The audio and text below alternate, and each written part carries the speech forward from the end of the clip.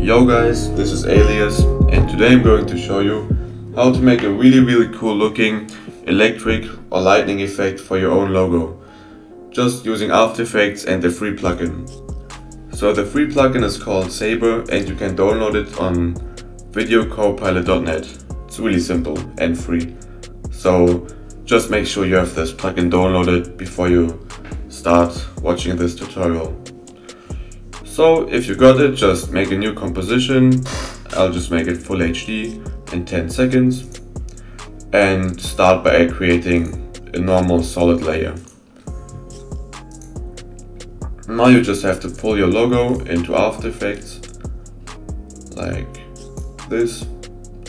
Okay, this is a little bit big. I'll scale it down Make sure it's not as big as the composition, so not like this, just like, like this basically. Now we're going to add a new layer, a new solid, and put it on top of the, our logo and turn down the opacity a bit so you can see the logo. Now we have to start tracing um, our logo and creating a mask which just is like the logo. And so just select the pen tool and reshape our logo.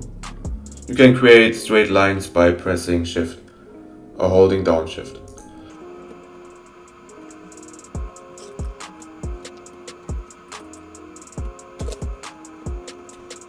Okay, that's it. So it doesn't have to be like um, really detailed or like exact the same shape because like the electric effect blurs it a bit so don't worry if it's a little bit offset.